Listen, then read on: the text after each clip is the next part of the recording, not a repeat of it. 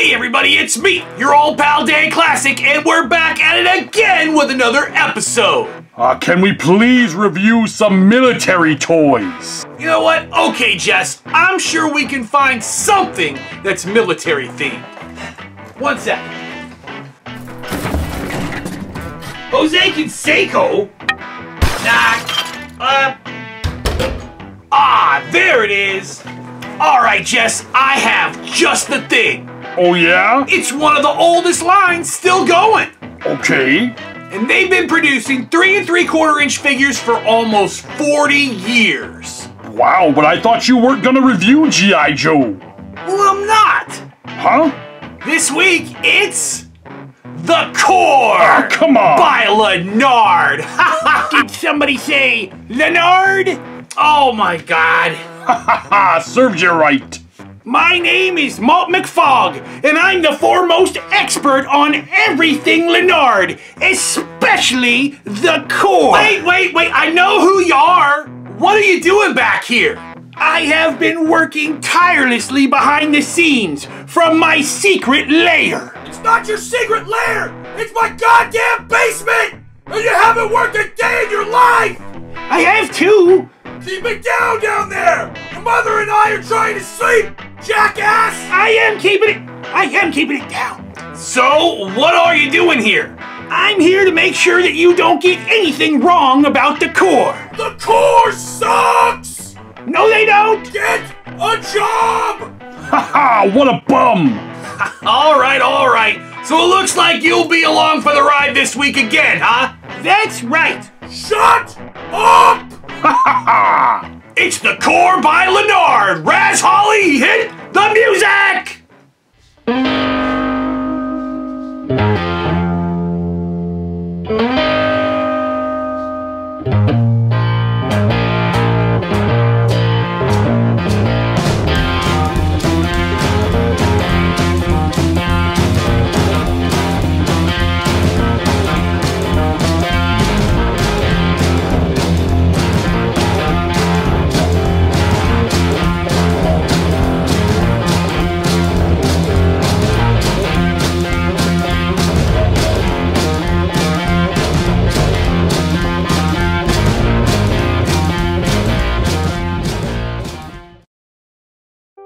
The 1980s, what a lot of people consider to be a golden age for movies, cartoons, pro wrestling, but especially toys.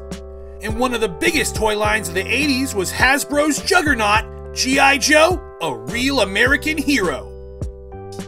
And with anything popular, be it movies, TV shows, or toys, something successful will always breed, let's say, similar products or you can call them what they are knockoffs.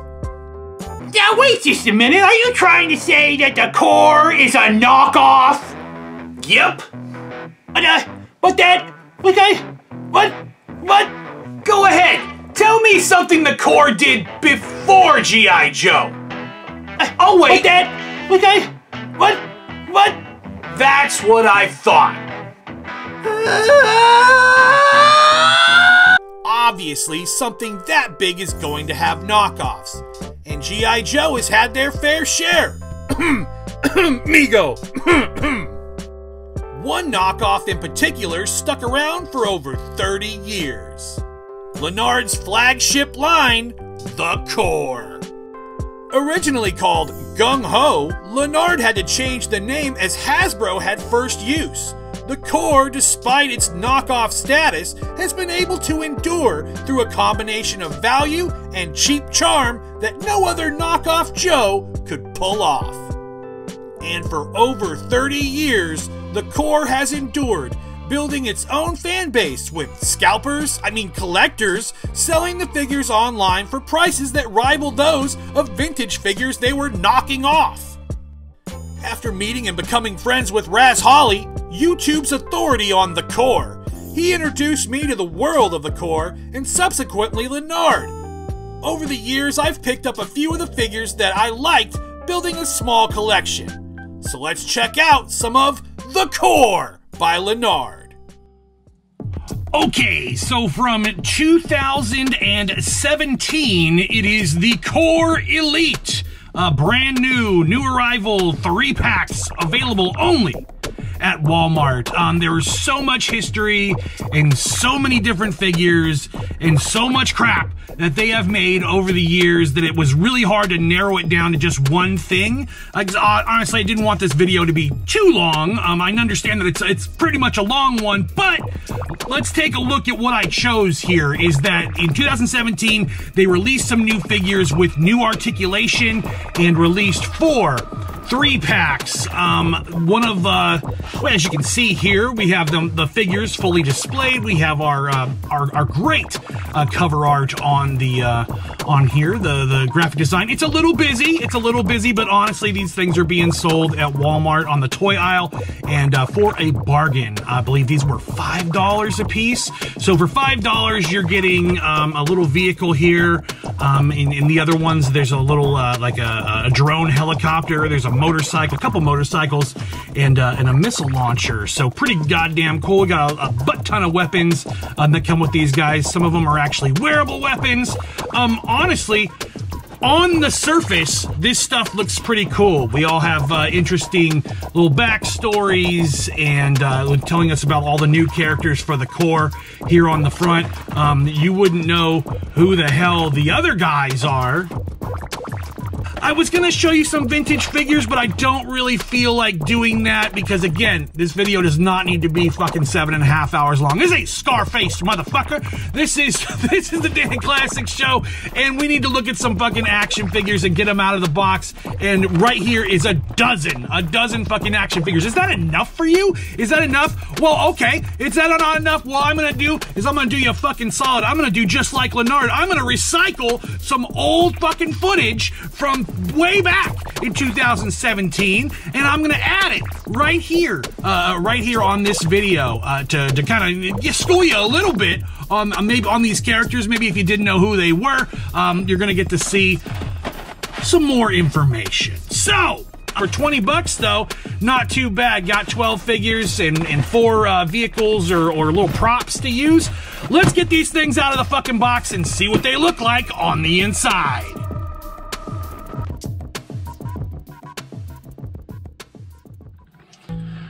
All right, so let's start with the figures that came with these that were previously released. Um, is like uh, the, the Native Americans, and they waste no part of the buffalo. They reuse figures over and over and over again um, to uh, to the point of, of nauseum um, with the consumer. But anyway, um, let's take a look. This is Rucker. Uh, he's the leader, or at least he was at one point the leader of the Corps um, in the uh, the canon of the of the Corps, if you give a shit.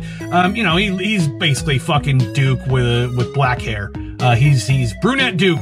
There he is with his, with his flat top and his square fucking jaw. Um, uh, one thing you will notice about the about the Corps figures, um, great fucking sculpts, uh, great fucking looking little details on there. Um, the facial, uh, it's they're okay. Um, they they range from kind of okay to all right. Um, they're not too bad. Uh, there's really no huge problems necessarily um, until we turn the figure around, turn the figure around, turn the figure around, and realize that the fucking paint applications, fucking, they just didn't. They didn't paint them, and this isn't like a fucking, you know, a mistake figure. This is every single one of them. Um, they they do these nice little details on the front, uh, the nice paint applications, um, and then you turn the figure around and it was all a fucking facade. Uh, so once you open these up out of the box, it becomes a different story. They look like uh, you know high detail. Um, you know, and then, you know, they say, well, you know, we sold them for like fucking basically two bucks a piece, uh, you know, dollar a piece. Um, well, I guess. Um, but whatever. Um, that's Rucker. Um, and we'll, we'll get, we'll get to him. We'll get to you later, Rucker. All right. And this is the pilot guy. His name's uh, Shitbird or something. Whatever. Who cares? Oh, and then we have here. What, what's this? This is the fucking Craptastic Four. Um, these are figures that Lanard has been selling for fucking years, years. Um, and like, look at this guy. This guy is fucking Raven or, or, or fucking, uh, the, fucking smoke shot, whatever the fuck his name is. He's got two points of articulation, one good pose. Five. All right, here's here's fucking uh, fucking Rudy Tooty. Um, he's got his fucking guns here. Got two points of our three points of articulation. I'm sorry, my mistake. Fucking, oh, and here he is, fucking buckshot. Fucking, fucking buckshot. Look at this piece of shit. His, his mustache is crooked. He's wearing these dumb orange glasses. Um, the, you know, the sculpt is okay on the body. Um, nice little details on his little flight suit or whatever the fuck it is. And, uh, he comes with a little fucking, uh, in, in fucking goddamn 1800s pistol. And again, turn around, no goddamn paint applications. Fuck off. All right. And then here's Raz's favorite guy, um, fucking Dozer. He looks like, uh, like, It does look like shit. Um, yeah, look at his, look at his face. Ah! Like, fuck, get, get the fuck out of here. All right, so. All right, opening these up, they come with all kinds of accessories and weapons and horse shit. Look at all this crap that they come with. Um, it's hard to figure out who to match to what, um, but we'll be taking a closer look at the figures here in a second. But let's first take a look at, oh, look at this. They look at all the detail on the front. It's some just stickers. Just, you couldn't put a fucking couple stickers on the back of this thing. This thing's actually pretty cool though. Um, you can put it on the guy's fucking, uh, on the guy, on a guy's back. He holds onto the thing or whatever. Um, or you can fucking, he can straddle this piece of shit. And there he goes. And you can fly. Woo. All right, and then um, this thing, um, it these wheels aren't real. It's a fake. Um, at least there, there's fucking paint applications on the back, but they're not really wheels, and there's not a full fucking you know, suite of paint applications. Thank God, goodness they painted some of the tire. Um, no, no paint there, no paint there. Um, we've got a couple of stickers that say the curse, um, because of course they have to brand their uh, their fucking their drone. Um, the wings clip out on this on this bad boy, and uh, you can launch the drone. Wee, fuck out of here. Um, this is cool. Dirt bike. It says uh, Rancor on the side. Uh, fucking, fucking looking at another lawsuit. from Lucasfilm there. Um, and then uh, you've got uh, Made in China. Look at this. But at least the wheels roll. Um, you know, eh, just give me, give us a couple extra goddamn stickers, Jesus. And then we have our more uh, modern speed bike, Striker. It says on the side there. It says Elite on the side because you know, because of course the Corps has has fucking speed bikes um, for for racing purposes. Here anyway. Um, so it's hard to match up all these weapons, so you're always going to end up with a bunch of extra shit. So let's take a look at the figures that you would have bought this for. The figures that actually have the 18 points of articulation, and we'll start with uh, with fucking this guy. What was his fucking name again? Shrapnel. Shrapnel's his fucking name. Um, he's he's really fucking cool looking. I don't really have a whole lot of bad things to say about the newer figures. They do have all the points of articulation you could want. Um, and they got like all these wearable weapons and stuff. You can take this rifle off and he can hold it in his hand. You can also hold it here on his back. They look great posed. They look great fucking, you know, standing on a desk just by themselves. You can stand them at attention. You can put them in a pose. You can make them look like they're just standing around talking to each other or shooting each other in the face. It's fucking great looking figures. Um, moving on to the, the next guy in line here. Um, this is Trick Shot, I believe. Um, or at least that's what it says on the back of the box. I'm led to believe that this is Trick Shot. He's got a little holster with a pistol there, another uh, like M16 style fucking machine gun, assault rifle, whatever the fuck you want to call it. Look, I'm not a gun guy. What the fuck? Tell me, let me know in the comments. Whoa, what kind of what kind of gun is this? Is this based on a real life gun? Are these based on real life fucking military things? Um, is this guy based on a real life fucking military uh, uniform? I don't know. Fucking all right. So there's Trick Shot. He's supposed to be a um, what is he like a parkour guy? I think. Parkour! if I remember correctly from the old Raz Holly days, fucking uh, maybe where he's he's friends with the parkour guy. Yeah! Parkour! Get off! Get off! Okay.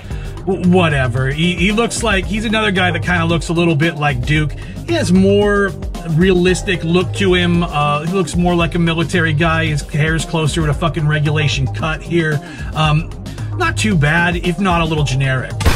Fucking uh, next up is is this guy. This guy's fucking mysterious. He's dope. He's got the fucking scarf covering his face, um, and he's got his fucking his, his elf ears sticking out the, the top here.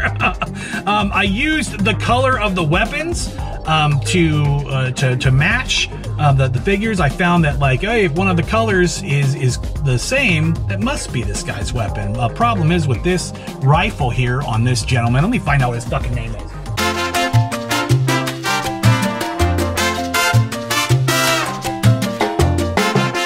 Fucking Smoke. His name's Smoke. Um, I'll remember that because he has gray hair, so Smoke, right? Um, problem is his his wearable weapon um, cannot be worn.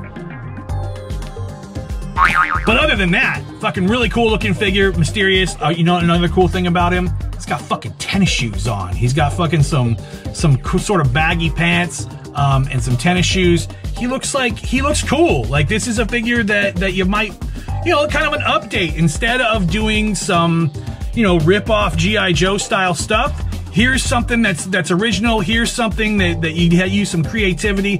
He's got a fucking badass scar on his face. He's got a lot of high detail for being a figure that's only three and three quarter inches tall. Very fucking cool looking figure. I love the fucking new figures. I'm, I'm not even gonna fucking lie, dude. I'm not gonna front like these are dog shit or anything. The like the old figures, the Craptastic Four, those those figures suck. But these figures, fucking awesome.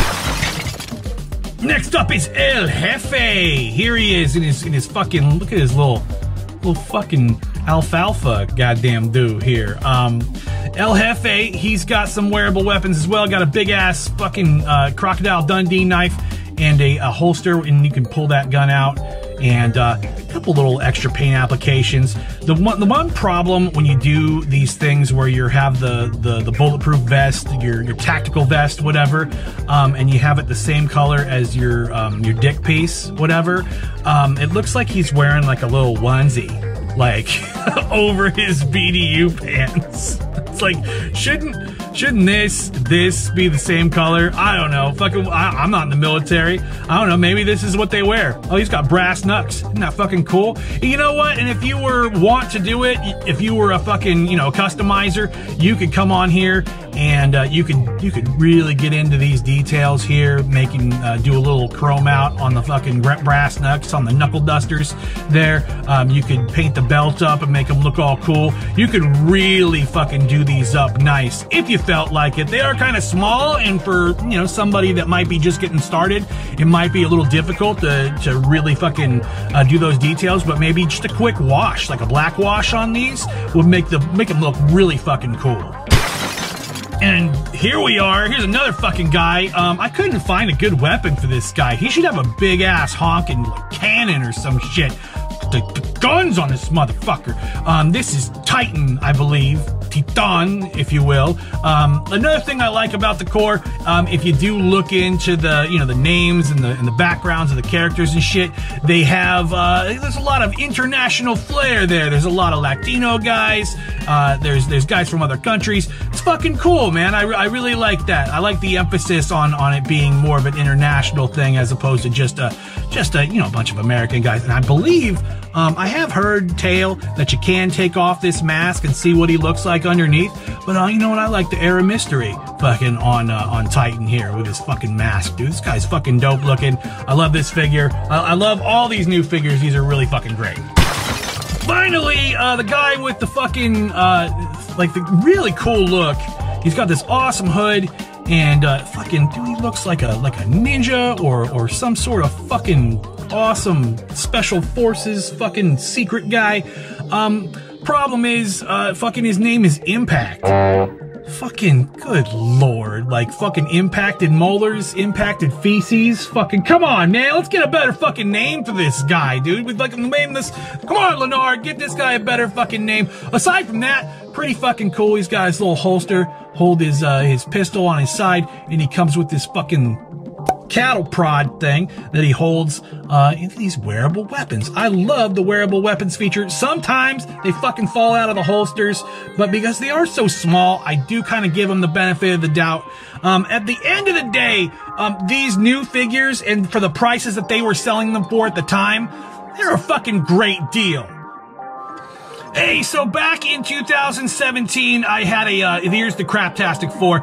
Back in 2017, uh, we took a special look at the Craptastic 4. Um, I used to do these things called five-star reviews. I explained it here in the quick video, and uh, we're gonna take a look at a five-star review of the Craptastic 4. It seems like we had to wait an eternity for new Corps figures to come out.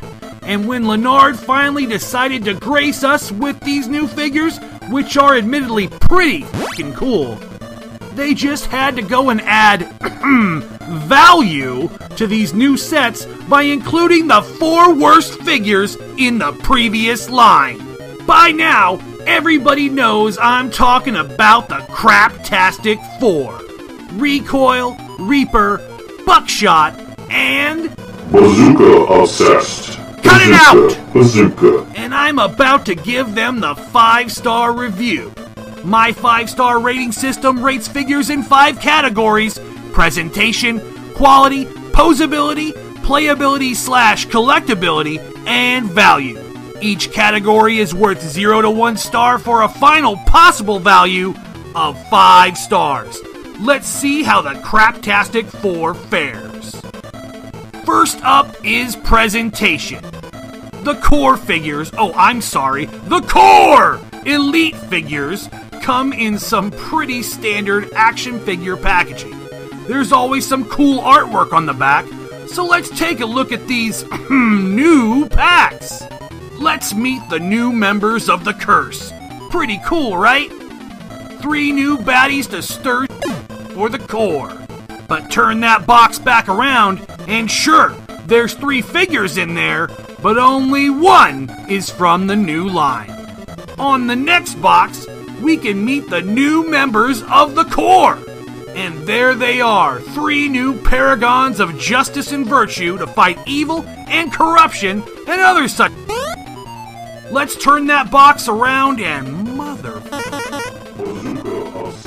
And so, where are these other figures, you ask? Well, there's two other packs that have got three more reruns nobody asked for. There are six new figures. Lanard could have just kicked out two new three packs, or at least added reruns of Puma, Snakebite, Plague, or other good figures. And look at this the new arrival sticker is on the front of every box. And speaking of the front, let's take a look at the blatant lies that grace the top right corner. 18 points of articulation, huh? Do you mean on all three figures in the box combined? Let's take a look at this pack and see if our fearless leader Rucker can live up to the claim.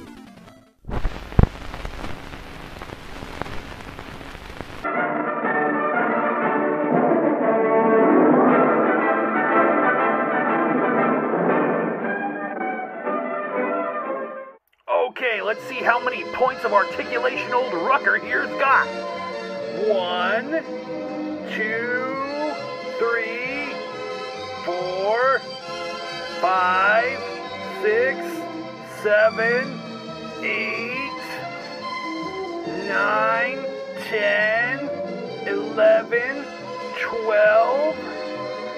Well, what's next? Oh, I know. 13, 14, coming up, 15, 16, Ugh.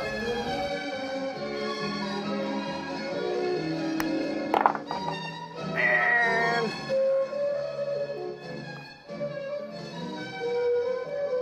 well,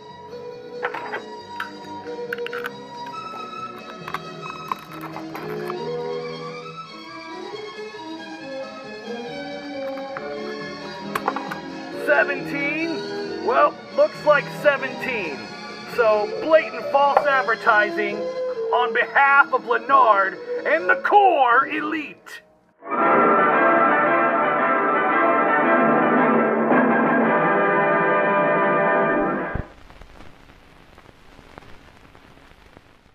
So we only got to 17. What a crock! Now, before I start getting threats from Corps fanboys, I know what they meant, but come on! They tell us there's 18 points of articulation and then pack in the four figures with the least articulation in the history of the line. What the actual Presentation loses points for lying and gets a quarter star. Next up is quality. Normally, I give the Corps a pass in this category considering the price of the figures, but since it's the Craptastic 4, there'll be no such mercy today. Let's take a look at these four.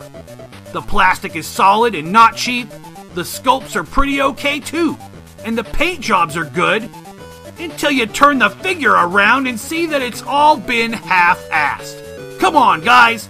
How's about we paint the rest of the figure so they look good once we get them out of the box too? So for half a paint job, quality gets half a star. Posability is next.